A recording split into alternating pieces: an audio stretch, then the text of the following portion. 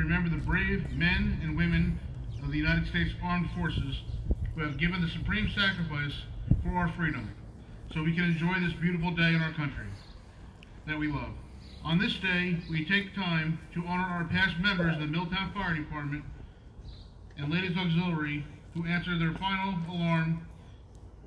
Their hard work and dedication to the citizens of Milltown and our country brought us here today.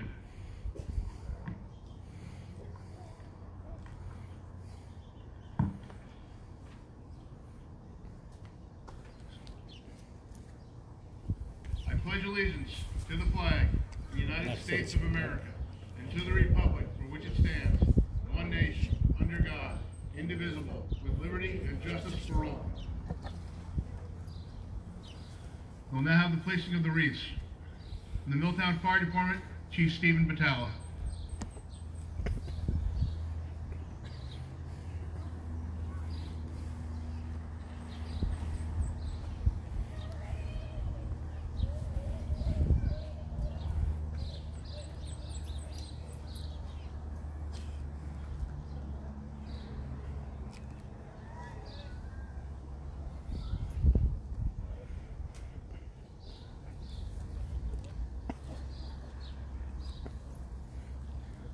From the Exempt Association, President Brian Hardo.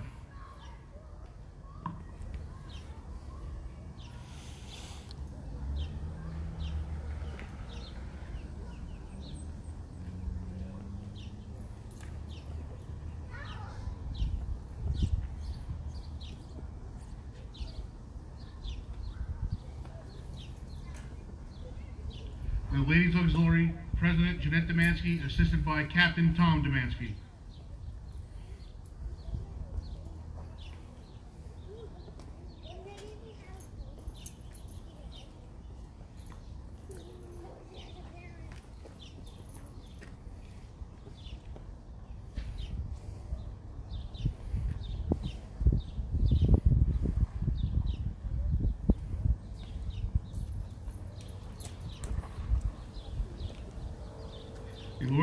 Will now be read by Ladies Auxiliary Chaplain Elsie Cherico.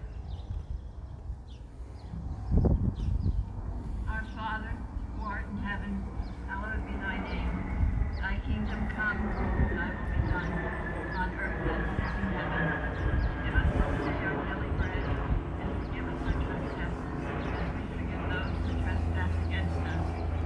And lead us not into temptation, but deliver us from evil. For thine is the kingdom, and the power, and the glory forever and ever. Amen.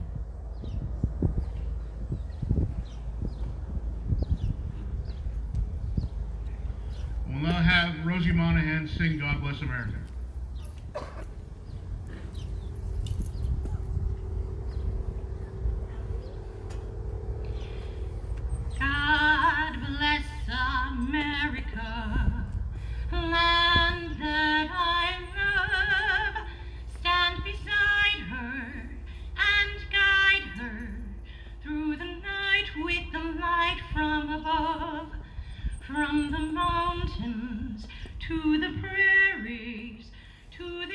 Oceans wide with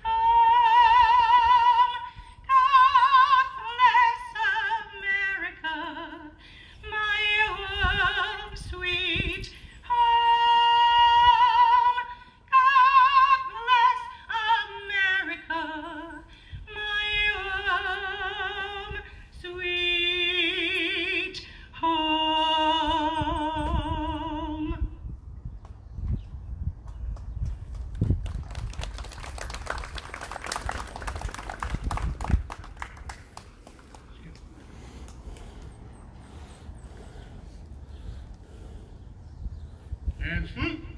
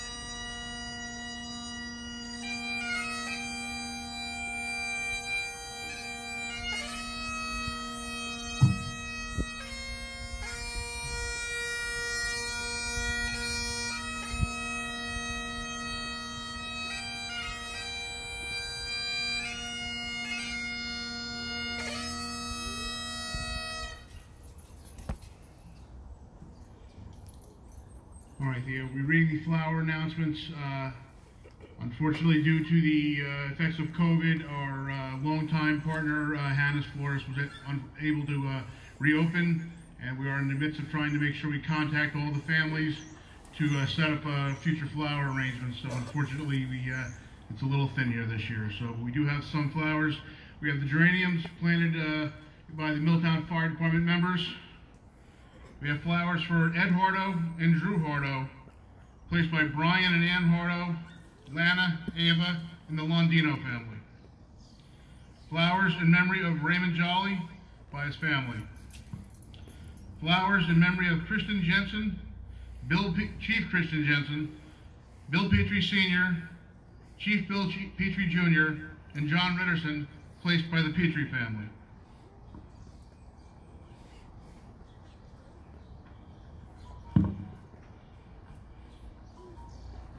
We'll now have the reading of the list of the fallen members. Uh, Exempt President Horto. Since our last uh, service, we've lost four members. H. Bruce Bronson Sr., Donald H. Petrie, Victor D. Barris, and most recently Raymond Connor. Now, ladies auxiliary president shall read their names. Since our last service, we've lost Bess Hefner, Vera Dorn, Jean Collier Bollinger, Dorothy Pleasant, and Lillian Moreau.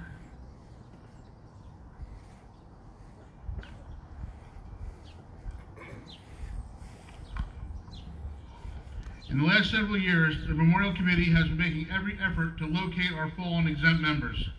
Working with family members and cemeteries, we have been able to locate 196 out of our 226 deceased exempt members. Our goal is to put a flag and marker for each of our fallen. We will continue to do our best as some are buried out of state, some have been cremated, and some are in mausoleums uh, are, and are unable to receive a flag. Members have located members have been located in over 22 cemeteries in multiple states. This year we placed over 140 flags. I am proud of all the members who helped in placing flags and gathering information. I believe this is the least we can do for those who've earned this honor. For those of you who don't know, this will be our last memorial service held at this location. With the completion of the new firehouse, combined firehouse, Memorial Day services will be held in the new building beginning next year. This is not an easy thing to do, considering the history and the time spent at both engine and hose company. We appreciate all that has been done over the years by the members of the department, members of the public works, helping us with the upkeep of our monument. I am confident that we will continue to do our, our fallen members justice in honoring them. As, ch- as change in life is inevitable, so will be the change in some traditions.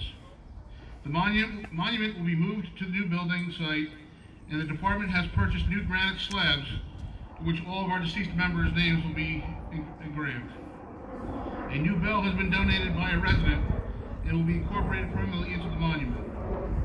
I look forward to unveiling our, our memorial services in the future and encourage everyone to continue to join us and pay tribute to our members. May God bless our departed members and their families and give renewed inspiration to our current members to serve the borough of Milltown and protect our residents, lives, and property. And you can also dedicate our past members' commitment of service to them. May God bless our soldiers, sailors, Marines, Airmen, and Coast Guard who are fighting for our freedom today as well as in wars past. May God bless the United States of America.